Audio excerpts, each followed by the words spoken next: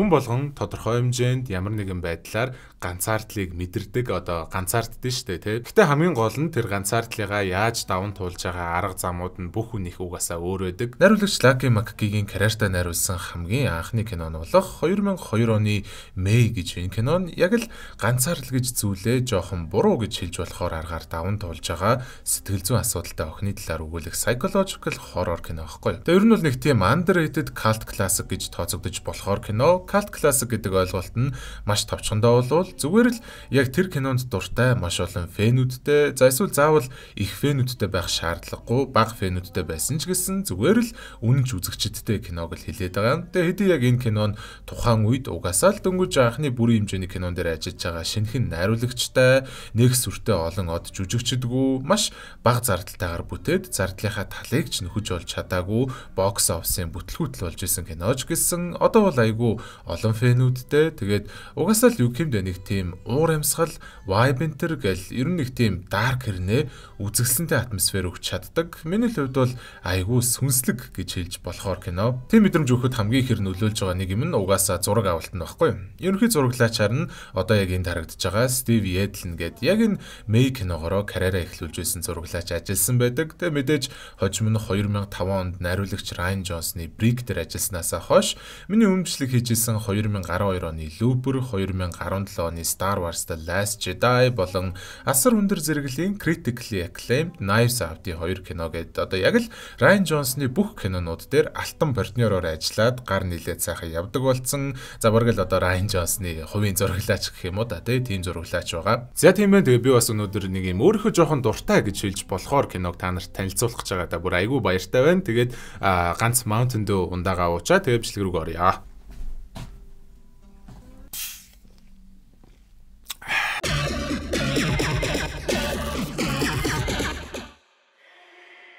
Тэгэхээр кино маань анх төрөхдөө lazy eye гэж одоо нэг товчхондоо нэг нүд нь ингээд юм хардаггүй нүдний эмгэгтэй төрсэн Мэй хэмээх охиноор эхэлж байгаа. Нүднээсээ маш их ичдэг байсан болохоор угаасаа л сургууль энэ төр дээрээ нэгч найзтай болж чадаагүй зүгээр л үнэхээр л ганцаардмал өссөн учраас сүулдэ бүр ээж аав хоёр нь төрсэн өдрөөр нь Сьюзи хэмээх нэртэй хүүхэлдэйг бэлгэлдэг. Ээжийнх нь өөртөө урлаж хийж найзалж исэн найз нь гэх юм уу да. Одоо тэгээд манай Мэйд өвлүүлж байгаа юм байлээ. Гэтэ нэг сони юм гэвэл хайрц хайрцагнаас нь гаргаж болохгүй. Угаасаа гаргах ёсгүй. Зүгээр л ингээд хайрцагнда байх ёстой юм аа. Хизээж гаргаж болохгүй гэдэг юм. Тэгээ яг энэ байдлаараа Сюзигээс өөр нэгч найзгүй асар олон жил өнгөрсний дараа ээж аав нь насураад мэ юусоо ганцаархнаа амьдардаг. Тэгээд бас малын эмнэлэгт ажилладаг нэг тим эмэгтэй болоод өссөн байдаг. Том болсон дүрд нь мэдээж яг тэр жилээ Кэригийн ихний ремейк дээр Кэригийн дүрд тоглодог Анжела Бетис тоглосон байгаа. Нэг л өдөр Мэйн хэлж байгаагаар бол маш гоё гартай маш гоё залууг манай хүн олж харснаар ядаж ганцхан ч гэсэн зүйл амьдралд нь догтлол үүсгэж эхэлж байгаа. Түүнийг нууцаар хараад яваад байхын оронд зориглож очиж уулзахар шийдээд нүдэндээ линз авч зүүдэг. Гэтэ угаасаа анх удаага линз зүүх гэж байгаа бол амар хэцүү л дээ. Тэгээ бөө юм болж ижил зүүж байгаа. Нүд нь энгийн болцсон болохоор өөртөө итгэх итгэл нь ч нэмэгдээд таанч бас яг ч нөгөө залуу руугаа зориглож очиж чадахгүй ажиглж суусаар байгаад унтсныхан дараа гаран дээр нүрэ аваачаад одоо илүүлээд зогсдог гэх юм уу. Сүүлдээ тэр залуун сэрээд тухайн үедээ тэр хоёр танилцаж чаддаггүй ч гэсэн яг тэр оройноо хувц сугаалгын газарт дахиж нэг тараад манай хүн дээр бүр өөрөө нөгөө залуу нэрээд танилцж идэг. Ямар тач тэр залууг нь Адам гэдэг залуу юм байна лээ. Тоглосон жүжигч нь угаасаа тухайн үеийн хамгийн сайхан залуучуудын нэгт тооцогддог байсан Jeremy Sisto гэж жүжигч нь. Тэгээ та нар таньживэл нөгөө нэг буруу эргэлтийн нэгдүгээр анги дээр Scott-ийн дүрд тоглодог жүжигч юм байгаа. Танилцсангуудаа шууд л хоёулаа гарч тамхилах уу гэд Мэг анх удаага тамхи татж үзэж байгааг нь ойлгонгуудаа явхдаа хайрцагтай тамхиа өгөөд тамхи татаж сураарай. Хоёулаа дараа нь хамт тамхилж байя гэдэг. Харин хардлаа харьсныхаа дараач гэсэн тэр хайрцагтай тамхинасаа харцаад салгаж чадахгүй догдолчдөг юм байгаа зү. Маргааш нь дахиад Адам тэр хоёр таарад цэцэрлэг дүрэлэнгийн сандал дээр ханиндаа сэндвич хувааж идэнгээ янз бүрийн юм яриад сууж явах үеэр хідүүлээ Мэг яг амтны имлэгт юу идгийг мэдэж авдаг. Манай хүн ер нь бол өөрөө хувцс мувцаа оёод өмсчдөг байхгүй. Тэгэхээр угаасаа тэр газараа ойдолчин гэсэн үг. Гэдс мэдсэн хүлэгдээд гар хүлмөлн тасарсан муур нохооны тэр гэдс доторх хүл гар энтрийн буцаагаад ойдог тийм ойдолчны үүрэгтэй ажилтгал юм байлээ. Тэр тэрийг сонсцоход Адамыг айх юм болов уу гэсэн чинь гүү заяа. бүр эсэргээрээ мэрэгчлэн амар сонирхолтой санагдаад Мэй улам ихээр л таалагдж эхлээд идэг тэр залууд нь. Адамтайгаа ингээд хөөрхөн байгаа болохоор хамт ажилдаг Поли гэж нэг эмэгтэй нь бүр нүдэн дээр нь элт сэтгнээд хахад тоогс хөөчгүүл байгаа байхгүй Мэдээж Полигийнхэн дүрдтэй бидний хайртай Scary Movie киноны Cindy-гийн дүрийг бүтээдэг. Заавас Dictator, The Hot Chick гэд хэд хэдэн nostalgic кинонууд дээр маань тоглож исэн одоо нэг юм жоохон тэнэгдүү охтын дүрийг маш чадварлагаар бүтээж чаддаг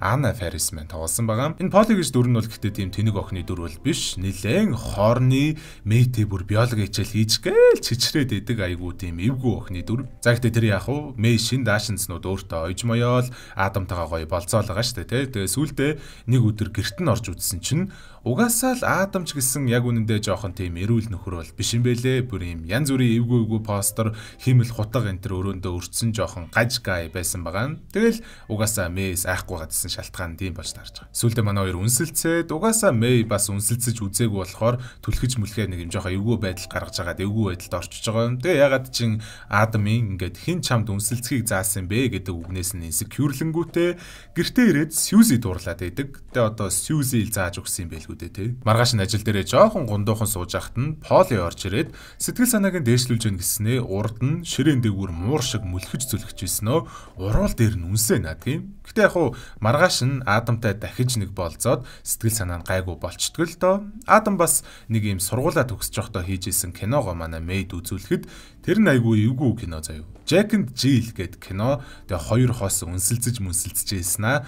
Сүүлдээ нэгнийхээ хурууг тасалж идээд дараа нь за бүр гар мар хөлмөл бүгдээ л тастаж хазаж идээд амьдаар нь одоо ёстой шууд утгаараа нэгнийг амьдаар нь идж байгаа хосуудын тухай кино гэх юм уу та. Тэгээ Адам Мэйг айх юм болов гэсэн чинь гүү заяа. Тэр кино нь made амар таалагдаад Гэтэ яг хуу зүгээр тэр хуруу тасдж байгаа хэсэг нь жоохон юм. Хүний хуруу тийм амар амархан тасардгүй штэ гэдэг ревю хүртэл хэлжээ тий. Дараа нөгөө тэр хоёр биологи хичээл хийчихсэн ч гэсэн Мэй Адамын хурууг хазаж цусыг нь гаргангуудаа цусаар нь бие бодож мудаад за сүулдэ Адам бол яалтчгүй л бас Мэйг бодвол арай эрүүл хүн болж. Тэгээ тэр нэггүй санагдангуудаа болёо би харьлаа гэ гараа явцдаг. Маргааш нөгөө Мэй янзын гой шин даашин замсууд гэрлүүн очсон ч гэсэн Адам айл хизээний өөр найз охинтой болцсон манай Мэйг бүр гаж мэдрэл охноос арай гэж нэг юм саллаа энэ төр гэд муулцсан байж идгийг. Дахиад Эмерсон сууж байхад нь Поли хажууд нь хань болж таарад ер нь бол Мэй одоо өмнө нь ерөөсөө Полиг нэх анзаарч харж байгаагүйгээ ойлгож л байгаа юм л та.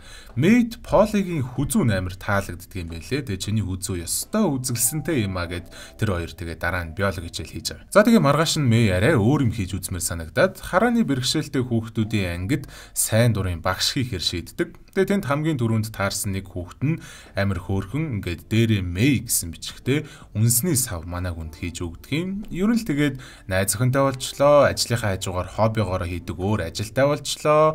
Бүхэл зүйлс сайхан харагдчихсэн ч гэсэн нэг удаа Полигийн очисон чинь поли өөр эмэгтэйтэй байж идэг. Угаасаа поли биш үү те open relationship буюу одоо угаасаа л би чамд хайртай юм чинь өөр хүнтэй унтсан ч хайр хэвээрэл байж тээ. Чи ч гэсэн хүссэн хүнтэйгээ унтаж болно штэ. Чөлөөтэй штэ гэдэг team type-ийн эмэгтэй юм бэлээ.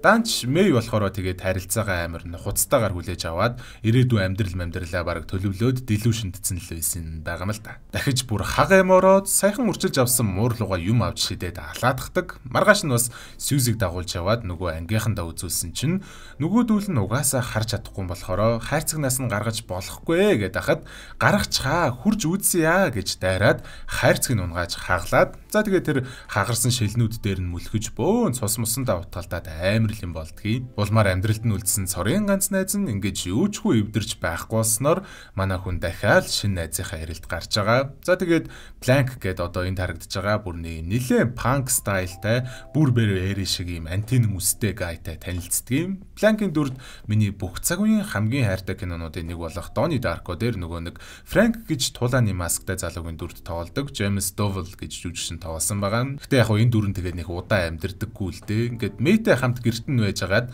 хөрөгчөндөө эзэн байсан нөгөө муурныхын цогцыг харж сандарж агаад дараа нь толгой руугаа хайж зоолгуулад үхээдгдэг. За ингээл ёстой жинхэнэ утгаараа Мэйн redemption arc нь эхэлж байгаа. Маргааш нь Полгийн хүзүүний хэмжээг нь авч ийсэн аа. Шинэ найз охиных нь хөлийг бас яасан гой хөлтэй юм бэ чи гэд сонжоод амждаг. Оройн Халиуны баярыг тохиолдуулаад бүр яг Сьюзигийн даашинцтай адилхан даашинцыг өөртөө ойж өмсөнгүүтээ эхлээд Полигийн гэр рүү явж байгаа. Тэгээ яах гэж байгаа вэ гэхээр угаасаа хүзүүгэн тайрж авах гэж байгаа. Хүзүүгийн тайрж авчаад нөгөө нэг хөлийг нь тоочглсон байсан найз охиныг хүртэл алаад хөлийн тайраад аваад гардаг. Дараачих нь очих газар бол угаасаа Адамын гэр. Эхлээд бас те тэгээд нэгэн цагт унаж туслаад уралцсан байсан залуу минь юм чинь гээд шинэ найз охинтой жоохон хүндлээд гэх юм уу нэг юм жоохон юм ярьж сууж агаад тэгээд за угаасаа ойлгомжтой л доо. Хоёуланг нь алаад Адамын гарыг тариад авчдаг. За тэгээд эцэст нь нэг юм Бланкийн цээжин хэсэг болон хоёр гарны шуу, Полигийн хүзүү, Полигийн найз охины хөл, Адам Адамын гар, Сьюзигийн хоёр нүд гэх хэсгүүдийг нийлүүлэн бүтээсэн шинэхэн найз нь бэлэн болж байгаа. Заавс тэр ангийнхан охины өөрт нь хийж өгсөн үнсний савны өсгнүүдийнх нь байрыг сольж Эми хэмээх үгийг үүсгээд тэгээ энэ шинэхэн найздаа Эми гэж нэр өгдөг. Гэтэ мэдээж Эми амтай биш шүү дээ, тэ. Тэгээд Мэй болохоор яг ягаад чин Эмиг шууд амилчин гэж бодсон юм шиг байлээ. Амилахгүй ангуут нь гунигэлж уйлаад за тэгээ сүулдэ ингэж бодож байгаа. Ам орцсон ч гэсэндээ ингээ Сьюзигийн нүд нь ажиллахгүй тэгээ намайг харахгүй байгаа юм шиг байна гэж бодонгуудаа өөрийнхөө нэг нүдийг ухаж гаргаж ирээд Эймид өгж байгаа.